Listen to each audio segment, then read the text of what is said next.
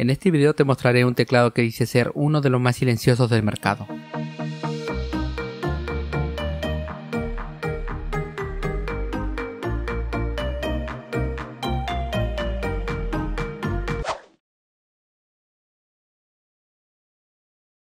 Si necesitas activar tu copia de Windows 10, puedes hacerlo comprando una clave OEM. Popcase tiene ofertas especiales por Black Friday en varios de estos productos. Puedes comprar una clave de Windows 10 Pro de forma segura y barata. Solo elige tu clave de Windows 10 y con mi código obtendrás hasta un 25% de descuento. Tienes varias formas de pago a tu disposición. Luego de haber hecho tu compra, tu clave aparecerá en la bandeja de tu cuenta. Ahora solo queda activarlo y listo, ya tendrás tu clave de Windows 10 activada. Activa tu copia de Windows 10 de manera más segura con una clave OEM. Más información y links en la descripción.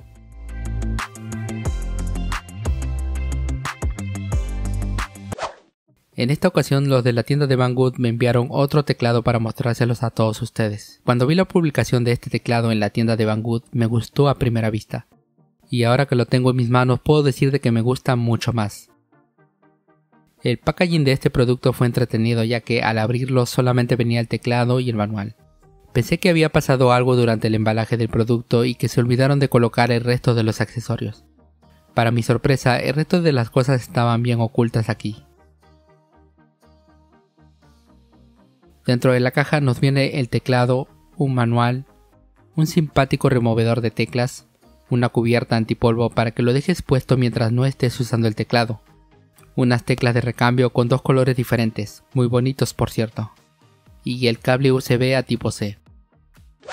La marca ACO es una empresa con sede en Hong Kong que se dedica a diseñar y vender teclados con diseños originales e inspirados en alguna temática, ya sea de anime o videojuegos, incluso de algún pintor famoso.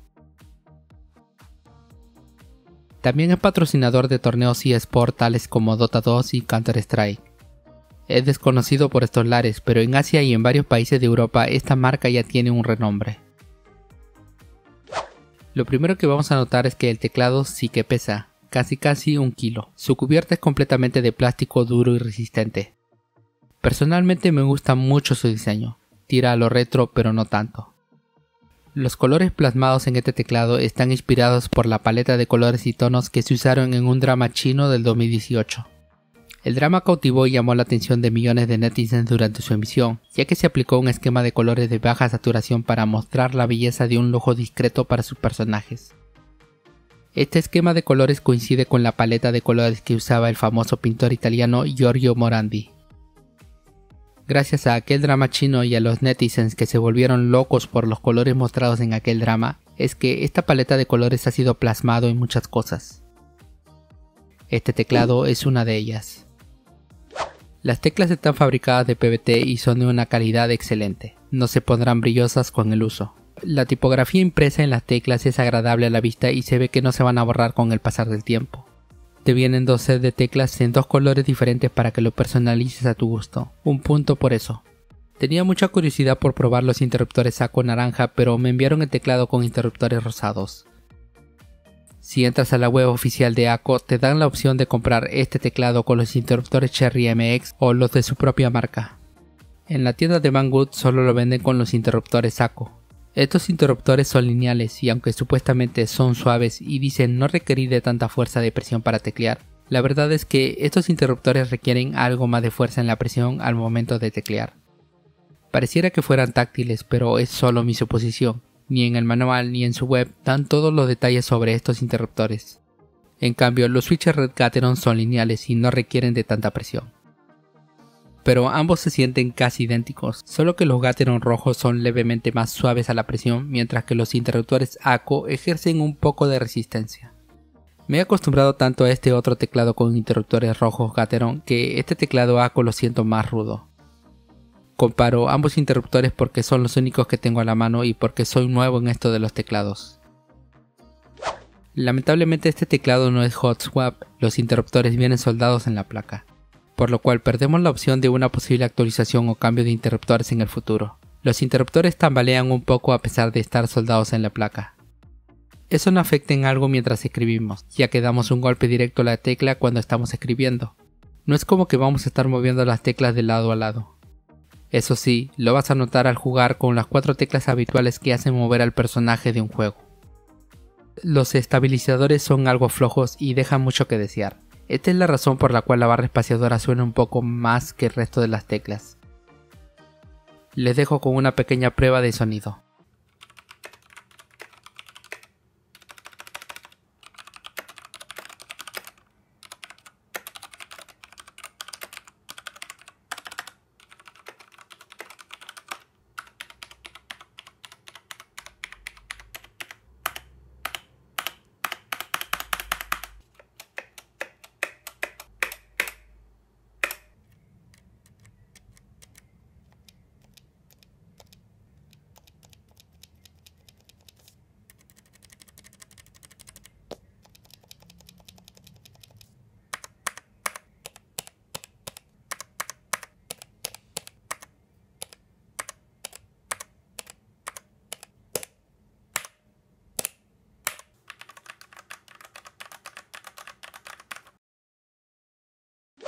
Este teclado no tiene nada de RGB ni otro tipo de iluminación salvo en esta parte. Aunque podemos ver que en el socket sí tiene la opción de agregarle un LED RGB como lo muestra en este video.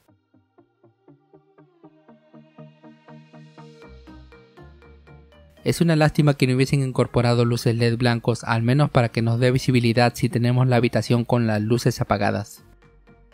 En la base del teclado tenemos 8 gomas antideslizantes y no he contado mal en verdad tiene 8 gomas, porque tiene dos patitas con diferentes elevaciones y con sus correspondientes gomitas antideslizantes. El cable de conexión es robusto y esta parte tiene una especie de rieles para que encaje perfectamente en su lugar. Puedes acomodar el cable ya sea de esta forma o derecha o izquierda, el lado que tú prefieras. Cositas ingeniosas como esta deben ser aplaudidas y valoradas. Desarmarlo resultó ser muy fácil ya que está puesto a presión.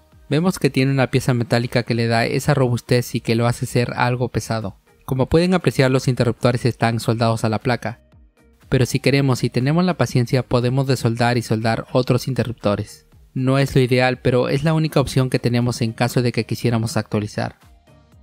Cuenta con una pequeña memoria para almacenar y guardar macros. Presionamos función y win izquierdo hasta que las tres luces empiecen a parpadear. Luego presionamos función más escape para activar el editor macro. Después presionamos otra vez la tecla función y cualquier tecla de tu elección. Esto es para asignarle el macro a dicha tecla elegida. Lo que tienes que hacer es escribir la palabra o párrafo.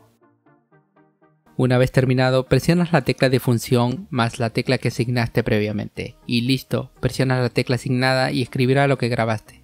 Interesante, un añadido que se agradece.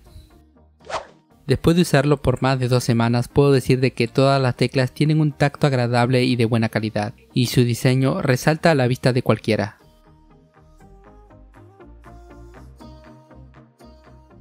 Sus puntos flacos, al menos para mí, son sus estabilizadores.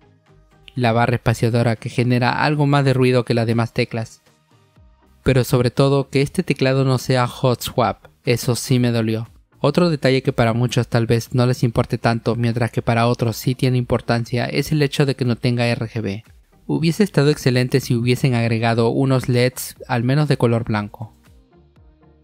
En cuanto a los interruptores saco, se puede decir de que este teclado es silencioso comparado con otros teclados del mercado, pero comparado con este otro teclado con switches Gateron es un poco más ruidoso, solo un poco.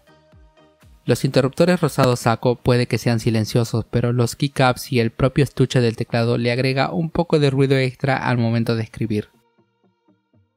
A pesar de que este teclado no es tan silencioso como uno pensaría, lo cierto es que su diseño lo hace resaltar. Es un teclado minimalista y con funciones muy básicas, dista mucho de otros teclados más estrambóticos y actuales.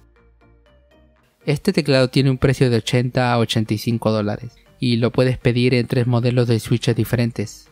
La verdad es que para teclados de este tipo su precio es competitivo para algunos países del mercado europeo o norteamericano. Para nosotros es un precio algo elevado. Creo que un precio justo sería de unos 60 dólares. Si te interesa, te dejaré el enlace de compra en la descripción de este video. Para ahorrar algo de dinero puedes usar mi código de descuento y aparte puedes usar la extensión de Lady Shops que también tiene a Banggood como tienda afiliada.